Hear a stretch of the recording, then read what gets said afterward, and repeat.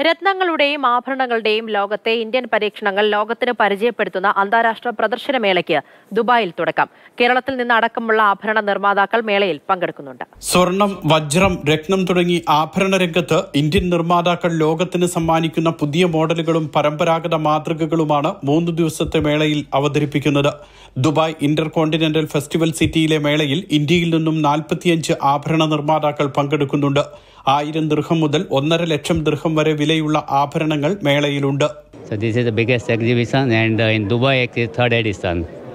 So there is a 50 plus uh, exhibitor with the exclusive jewelry and 500 plus buyer from around 30 plus countries. Dubai gold and jewellery group chairman Tawhid Abdulla മേള ഉദ്ഘാടനം ചെയ്തു. ഈ മാസം പന്ത്രണ്ട് വരെ നീണ്ടു നിൽക്കുന്ന മേളയിൽ കേരളത്തിൽ നിന്നും നിരവധി ആഭരണ നിർമ്മാതാക്കളാണ് പുതിയ മോഡലുകൾ അവതരിപ്പിക്കുന്നത്.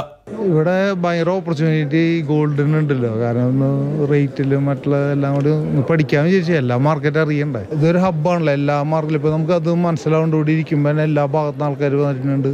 ആഭരണ നിർമ്മാതാക്കൾക്കൊപ്പം മുപ്പത്തിരണ്ട് രാജ്യങ്ങളിൽ നിന്നായി അഞ്ഞൂറോളം സ്വർണ വ്യാപാരികളും മേളയിൽ പങ്കെടുക്കുന്നുണ്ട്. Mathrubhumi news Dubai.